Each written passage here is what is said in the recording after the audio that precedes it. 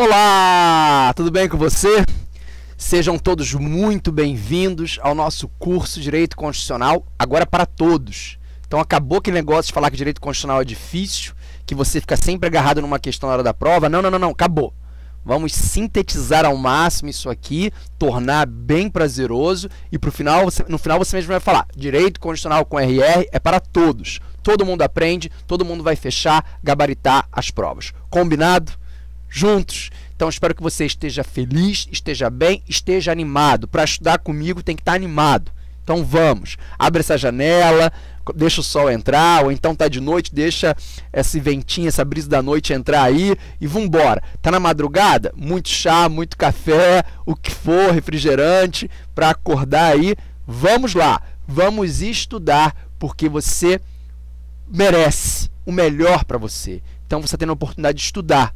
Isso é muito importante. Isso é o primeiro passo para o seu sucesso. Nossas aulas vão ser todas baseadas em concursos públicos. Então, a depender da doutrina que você utilize, você pode encontrar um ponto diferente, uma classificação diferente, mas eu estou pautado aqui no que as bancas examinadoras cobram nas provas. Então, eu quero deixar você na cara do gol, eu quero fechar aqui o examinador para que você, quando for enfrentar a sua prova, não tenha nenhuma dificuldade. Recomendo que você estude comigo com um bloco de notas, um caderno, porque às vezes eu vou ditar alguma coisa, colocar uma observação interessante, com o nosso PDF também, nosso textozinho para acompanhar impresso do seu lado, se for possível.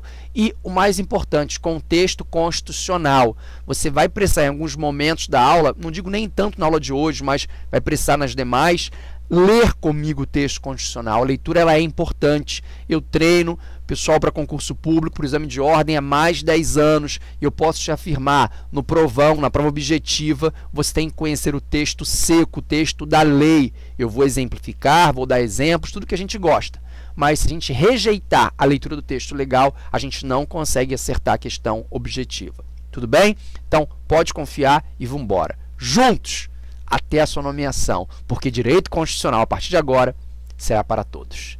Bom, vamos começar o nosso bate-papo com um tema bem teórico, um tema mais enjoadinho, mais chato, mas é essencial. Você vai precisar passar por ele para quando chegar lá no meiozinho do curso ou no finalzinho você falar assim: caramba, as coisas começam a fazer uma ligação. É. Então, vamos passar então à análise da classificação das constituições. Claro que nos interessa saber a classificação da nossa Constituição, mas a gente acaba conversando aqui de uma forma muito mais ampla. Pois bem, para introduzir, para a gente antes colocar os pingos nos is, a gente tem que saber que algumas constituições elas possuem um texto muito amplo, como é a nossa atual, dispondo sobre inúmeras matérias. Outras constituições representam um texto muito mais reduzido, mais simplório, versando apenas sobre matérias constitucionais. Exemplo, a Constituição Americana. Algumas constituições podem ser alteradas por um processo legislativo bem simplório, enquanto outras precisam de um processo formal, difícil, rígido, para acontecer alguma alteração no seu texto. Vamos então passar a analisar, a partir de agora, a classificação das constituições. Eu fiz até um resuminho aqui que facilita bastante aqui para a gente se encontrar. Bom, então, classificação das constituições. Primeira classificação será quanto à origem, onde eu posso ter uma constituição popular, outorgada ou cesarista. Vou começar pela constituição outorgada. Uma Constituição outorgada é uma Constituição imposta. Eu digo que a Constituição é outorgada porque ela foi imposta. Se ela foi imposta, opa, raciocina. Então não há participação popular? Isso. Ela é um ato unilateral de vontade da pessoa ou do grupo detentor de um poder político naquele momento. Alguns doutrinadores, você pode encontrar isso em outras obras, ou até de repente por algum, algum enunciado em prova, chamam a Constituição outorgada de cartas constitucionais. Então, se você vê cartas constitucionais, ela é sinônimo de uma Constituição outorgada. Ok? Já quando eu falo na Constituição popular ou democrática, popular ou democrática, elas são elas são produzidas, melhor dizendo, com a participação popular em duas formas, ou no regime de democracia direta ou num regime de democracia representativa. Então, no regime de democracia direta ou de, ou de democracia representativa.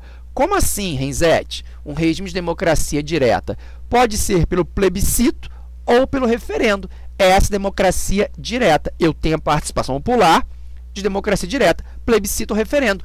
Ou por democracia representativa, escolha do povo de representantes que integrarão a Assembleia Constituinte destinada à elaboração do texto constitucional. Veja, ela não é imposta. Ela não é imposta. Eu tenho a representação, a participação popular de duas formas: ou pela democracia direta ou pela democracia representativa. Tá bom? Bom que você saiba aí as diferenças. Já quando eu falo na Constituição cesarista, ela é cesarista, atentem-se aqui, porque elas são outorgadas, outorgadas, já vimos, impostas, né? Mas dependem de ratificação popular. Mas dependem de uma. Aqui é um R, tá? Minha letrinha tá hoje muito feinha. Mais do que costume, né? Não sei se é a ponta da caneta. Colocou a culpa na caneta. para ter letra feia.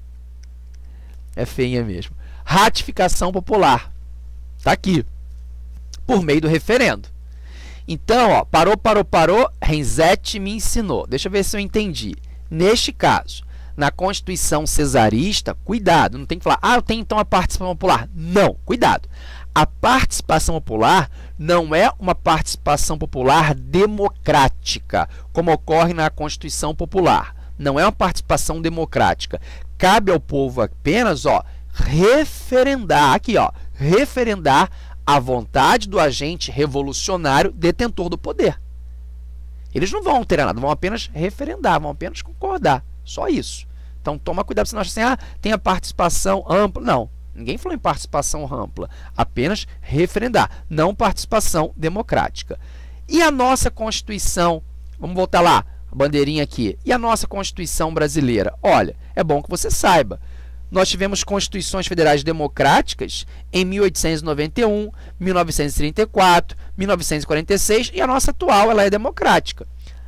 Né? Nós tivemos aí representantes na Assembleia Constituinte, a de 88. E nós tivemos constituições outorgadas em 1824, 1937 e 1967 e a de 69. Então notem, nós saímos de uma outorgada e fomos para uma Constituição democrática. Perguntinha bem clássica das provas, né? Saímos de uma outorgada e fomos, né, para uma Constituição democrática, tá? Fica ligado em relação a isso. Tudo bem? Tranquilo? Nada de difícil, tá? A gente fala assim, ah, tá difícil, nada difícil, nada difícil. Só você ir contextualizando comigo. Só falar, ah, é difícil, nada difícil. Fica chorando não, tá? Tem nada difícil. Pois bem, Vamos voltar então aqui à classificação. Deixa eu voltar com você aqui, que eu acho que esse quadrinho ajuda a gente bastante. Bom, agora a gente vai falar quanto à forma. Quanto à forma, eu tenho constituições escritas ou não escritas. A constituição escrita também é chamada de instrumental. Bom que você saiba alguns sinônimos. Então, constituição escrita ou instrumental. Como é que é uma Constituição escrita ou instrumental? Ela é formada por, por regras sistematizadas e formalizadas por um órgão constituinte. Então, formadas por regras sistematizadas e formalizadas por um órgão constituinte, em documentos escritos e solenes. Essa Constituição escrita, ela pode ser de duas formas. Atenção aqui, elas podem ser codificadas ou legais. O que é uma Constituição escrita codificada? A Constituição escrita codificada, ela se acha contida, você encontra ela sistematizada em um só texto. Ela forma um único documento. Acabou. A nossa atual Constituição está lá. E eu posso ter, quanto à forma escrita, ela legal. Que, que seria Constituição escrita legal? Ela é escrita legal porque apresentam esparsas ou se apresentam, perdão, esparsas ou fragmentadas por documentos diversos. Escrito, mas fisicamente distintos. São vários documentos, não num único texto. Ok?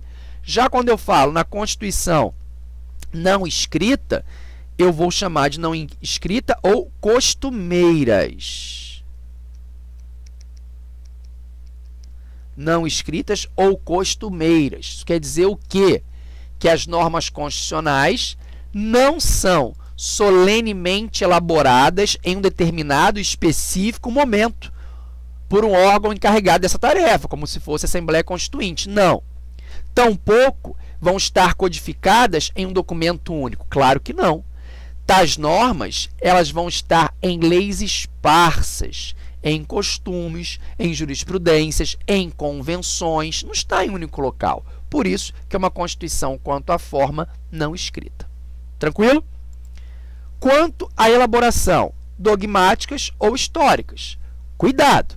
A Constituição dogmática, elas são sempre escritas. Opa, informação importante. Deixa eu só dar um espacinho aqui uma constituição dogmática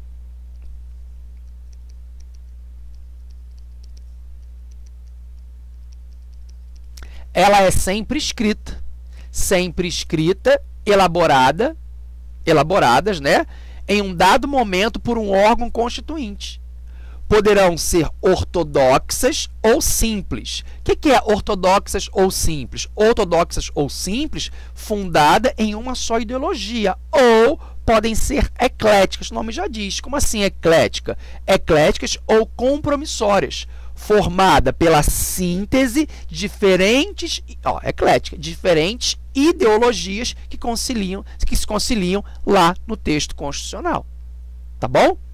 Já quando eu falo na Constituição histórica, são históricas ou consumeiras.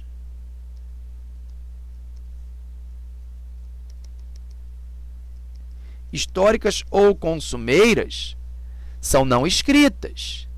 Resultam de quê? De uma lenta formação histórica, representa uma síntese histórica dos valores consolidados pela própria sociedade em vários momentos. Então ela é lenta.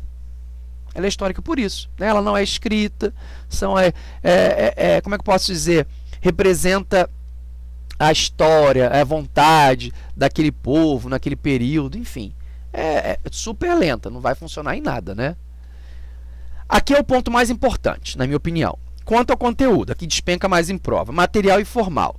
O que é uma Constituição material? Eu falo que a, que a Constituição é material quando eu tenho constitucionais, né, consideram-se constitucionais somente as normas escritas ou não escritas que cuidam de assuntos substancialmente constitucionais. Não entendi, Renzete. Calma. Material. Vamos lá. Consideram-se constitucionais somente as normas escritas ou não escritas, tanto faz aqui, que cuidam de assuntos essenciais ligados à organização e ao funcionamento do Estado e estabelecem direitos fundamentais, ou seja, tratam de assuntos, de matérias substancialmente constitucionais. Só o que interessa a organização, só o que interessa ao funcionamento do Estado, só o que interessa a direitos fundamentais, ou seja, assuntos nitidamente constitucionais. Isso é, quanto a conteúdo, uma Constituição material. Já quando eu falo em uma Constituição formal, vamos voltar lá para colocar um caderno bonitinho. Quando eu falo uma Constituição formal, são constitucionais todas as normas. Então, várias, vou colocar assim, ó, várias normas. Várias normas, temas, assuntos. Tudo é constitucional porque está lá. Então, Constituição formal, é o caso da nossa, são constitucionais todas as normas que integram uma Constituição escrita, que tem que ser escrita, elaborada por um processo especial, ou seja, rígida, independentemente do seu conteúdo. Então, tudo que está lá é matéria constitucional. Mesmo que não trate de organização, funcionamento, garantias fundamentais, isso. Mesmo que não tratam de matérias substancialmente constitucionais, por estarem lá no texto constitucional, ou seja, escrito, né, como nós falamos aqui, vão ser normas constitucionais. E isso deixa ela muito mais prolixa, muito mais ampla. Bom, nosso ex-presidente, Michel Temer, não sei se você sabe, ele é um constitucionalista, ele tem um livro bem, bem pesado, o livro dele, por sinal, o texto tem que ter sofrer algumas atualizações, do meu ponto de vista. Ele diz que, cento, que 170, preste atenção, 170 artigos do nosso texto são normas materiais. Tratam de assuntos nitidamente ligados à Constituição, assuntos constitucionais. Que 80 dispositivos, 80 normas, segundo Michel Temer, são formais. Tratam de tudo. Ou seja, como entraram no texto constitucional, se tornam matérias constitucionais, mas de origem não constitucional. Me dá um exemplo, Renzete? Sim. Essas matérias formais, que não tratam de temas constitucionais, elas poderiam ser tratadas por normas infraconstitucionais. Uma lei ordinária, por exemplo. Você quer ver um exemplo clássico? Isso todo professor de direito constitucional fala nas primeiras aulas, você deve ter ouvido já isso em algum momento, até já leu um texto constitucional. A nossa Constituição fala do Colégio Pedro II. Para que, que a nossa Constituição vai falar do Colégio Pedro II? Isso não é matéria constitucional. O Colégio Pedro II poderia ser tratado em uma lei ordinária, mas como está no nosso texto constitucional, passou a ser matéria constitucional. Outro exemplo, a Seguridade Social. A Seguridade Social não tinha que ser toda estruturada, detalhada no texto constitucional? Claro que não. A nossa Constituição, lembra isso, lembra essa frase com você, é uma direção e não a disciplina passo a passo de determinados temas. Constituição é direção e não disciplinar passo a passo um instituto. Claro que não. Em suma, a Constituição Federal de 88 ela é eclética. Por que, que ela é eclética? Eu posso falar isso em prova.